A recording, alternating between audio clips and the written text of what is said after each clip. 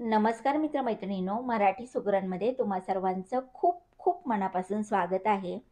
चला तर आज आपण मस्त अशी चटपटीत मसाला काजू बनवूया.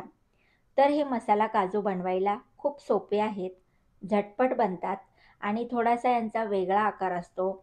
वेगवेगळे मसाले आपण यामध्ये घालतो त्यामुळं खायला तर खूप चटपटीत लागतात.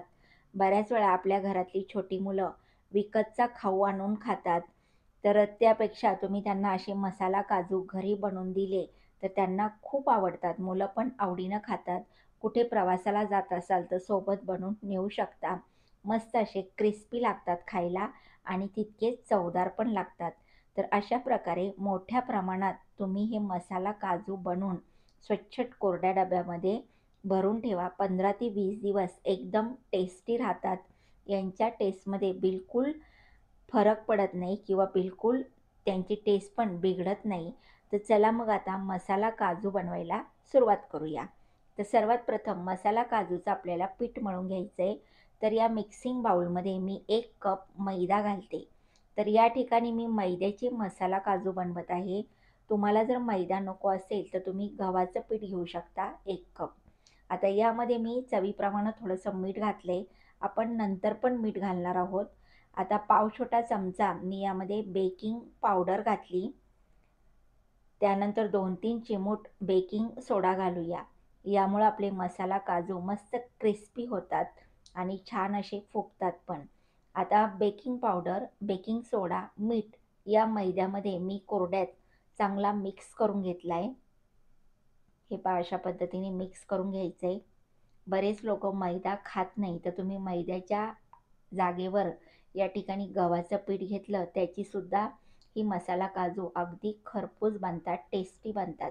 आता आपण यामध्ये एक पोहे खायच्या चमच्याने तीन चमचे गावरान तुपाचं मोहन घालतो आहे तूप घट्ट आहे. साधारणतः हे तूप घट्ट असल्यामुळं मी तीन चमचे घेतले. जर याला पगळून बितळून घेतलं तर हे पाव कप आरामशीर भरल्या जातं. तर एक कप मैद्याला पाव कप तुम्ही तुपाचं मोहन घालू शकता. हे पहा आता याची हलकीशी मोठ तयार होत आहे. आता यामध्ये थोडं थोडं पाणी घालून आपण थोडंसं घट्ट पीठ मळून घेतो आहे खूप सैल पीठ मळायचं नाही आहे आता पिठाचा गोळा मळून तयार झाला आहे हे पहा. आता ह्या पिठाच्या गोळ्याला आपण एक दहा पंधरा मिनिट झाकून ठेवूया. म्हणजे पीठ छान भिजल्या जाईल आणि मग आपण काजू बनवूया. एक पंधरा मिनटानंतर मी या बाऊलवरलं झाकण काढले हे पहा पीठ पुन्हा आपण मळून चांगलं मऊसूत करून घेतले आणि पीठ पण आता छान भिजलेलं आहे. तर या ठिकाणी पहा आता मसाला काजूचं पीठ तयार आहे. आता आपण याचा एकच मोठा उंडा बनवून घेतला आहे कारण पीठ आपलं थोड्या प्रमाणात आहे. आता आपल्याला याची जाडसर पोळी लाटून घ्यायची. तुम्ही जेवढी जाडसर पोळी लाटून घ्याल तेवढे तुमचे मसाला काजू छान असे जाडसर आकाराचे बनतात. आणि खूप पातळ पोळी लाटायची नाही आहे कारण पातळ पोळी जर लाटली तर मग काजू पातळ बनतात तळल्यावर मग ते कडक बनतात क्रिस्पी बनत नाही अशी खुसखुशीत लागत नाही खायला. त्यामुळं थोडीशी मध्यम आकाराची जाडसरच पोळी आपल्याला लाटून घ्यायची. आता या ठिकाणी पहा पोळी लाटून तयार आहे. दाखवते तुम्हाला. खूप पातळ अशी पोळी मी बिलकुल लाटलेली नाही आहे आणि एकसारखी पोळी लाटायची. हिची जाडी पण मी तुम्हाला दाखवलेली आहे. आता या ठिकाणी मी एक बॉटलचं प्लास्टिकचं झाकण स्वच्छ धुवून घेतलं. आहे यानं पण ही मसाला काजू कट करूया. हे पा अशा पद्धतीने हे काजू आपल्याला कट करून घ्यायचे. तर यांना आपले जे काजू असतात त्यांच्यासारखा आकार आला आहे म्हणून यांना मसाला काजू म्हणतात. हे पहा अशा पद्धतीने कट करून घ्यायचे. आणि खूप भरभर आपल्याला यांना कट करता येतं. बिलकुल वेळ लागत नाही. जसे आपण सुरीनी शंकरपाळी कापतो अगदी तसेच या टोपांनी आपल्याला ही शंकरपाळी कट करून घ्यायचे पहा किती सुंदर असा चंद्राच्या कोरीसारखा यांना आकार आला आहे तर अशा पद्धतीने आता सर्व काजू मी कट करून घेते. तर पाहिलं तुम्ही मसाला काजू बनवायला किती सोपे आहेत. अगदी झटपट बनतात. आणि सर्व मसाला काजू मी कट करून या प्लेटमध्ये असे सेपरेट करून घेते. म्हणजे आपल्याला यांना तळताना खूप सोपं जातं. हे एकमेकाला बिलकुल चिटकत नाही आहे आता हे मसाला काजू तळण्याकरता मी कढईमध्ये तूप गरम करून घेतलं आहे खूप कडक तूप गरम करायचं नाही आहे थोडंसं मध्यम गरम करायचं. आता हे काजू मी तुपामध्ये सोडलेत. थोडे थोडे काजू आपल्याला तळून घ्यायचे. एकदम सर्व काजू सोडायचे नाही आहेत आता पहा तुपाचे बुडबुडे किती फास्ट येत आहेत. गॅस थोडा कमी करायचा. तूप एकदा गरम केलं की मग तळताना गॅस थोडा कमी करून सावकाश यांना मस्त असे खुसखुशीत होईपर्यंत लालसर रंगावर तळून घ्यायचे. जास्त पण यांना उलटपलट करायचं नाही आहे नाही तर मग हे खूप ऑइली असे तेलकट बनतात. एक तीन चार वेळेस उलटपलट करून मस्त यांना खरपूस लाल रंगावर मी तळून घेतलं आहे एक पाच ते सहा मिनिट लागतात यांना तळायला. मग मी यांना टिश्यू पेपरवर काढून घेते. म्हणजे जास्तीचं तूप किंवा तेल असेल ते निघून जातं. तर या ठिकाणी मी यांना तळायला तुपाचा वापर केला आहे तुम्ही तेलामध्ये सुद्धा यांना तळू शकता. आता राहिलेली पण बॅच आपण काजूची तळून घेतोय. आणि सुरुवातीला पहा हे काजू कढईमध्ये सोडले की तुपाचे फास्ट बुडबुडे येतात. आणि काजू तळून झाले की मग तुपाचे बुडबुडे शांत होतात. आणि या काजूंचा रंग पण बदलतो. यावरून तुम्ही ओळखू शकता की मस्त तळून झालेत.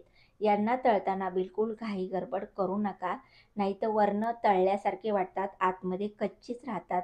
मग ते खायला एकदम असे खुसखुशीत लागत नाही. काही वेळाने ती नरम पडतात. आता ही थंड झालेत.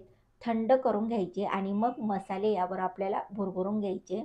आता मी यावर चवीप्रमाणे मीठ घालते. त्यानंतर अर्धा छोटा चमचा मी यावर पिठी साखर घालते. यामुळं छान असे गोडसर चव लागते. अर्धा छोटा चमचा लाल मिरची पावडर घातली. मस्त मिरची पावडर साखर आणि वेगवेगळे चाट मसाले. आता यावर मी चाट मसाला घातला आहे अर्धा छोटा चमचा आणि एक छोटा चमचा आमचूर पावडर घालते. यामुळं मस्त चटपटीत बनतात. छान असे आंबट गोड थोडेसे तिखट आणि चटपटीत लागतात खायला. आता मसाले घालून झालेले आहेत. तुम्ही मसाले तुमच्या आवडीप्रमाणे घालू शकता. चाट मसाल्यामुळं आमचूर पावडरमुळं हे काजू खायला खूपच टेस्टी लागतात. आता या बाऊलवर मी एक झाकण ठेवलं आहे आणि यांना असं खालीवर करून घेऊया. म्हणजे सर्व मसाले या काजूंना लागल्या जातात चिटकल्या जातात. तर हे पहा आता आपले मसाला काजू तयार आहेत.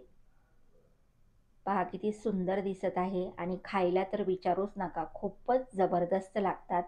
आणि थोडेसा वेगळा आकार असल्यामुळं मुलांना पण हे मसाला काजू खूप आवडतात. थंड झाले की यांना डब्यामध्ये भरून ठेवा. पंधरा ते वीस दिवस इतकेच छान लागतात खायला. बिलकुल यांच्या टेस्टमध्ये बदल होत नाही.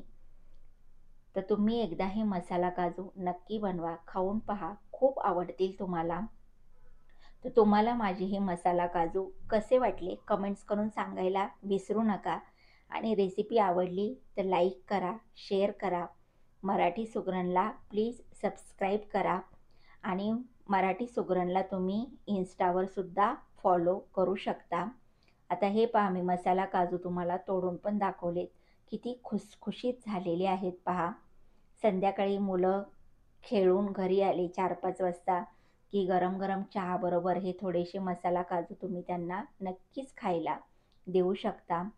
आता मी तुम्हाला प्लेटमध्ये हे मसाला काजू घेऊन दाखवते. पहा मसाले पण या काजूंना किती छान लागलेले आहेत. आणि खरोखरच हे प्रवासामध्ये जर तुम्ही बनवून नेले तर खूपच अप्रतिम लागतात खायला.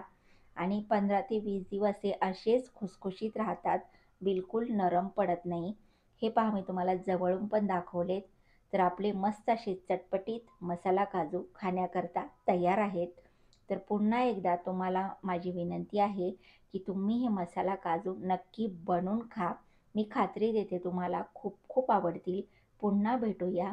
धन्यवाद.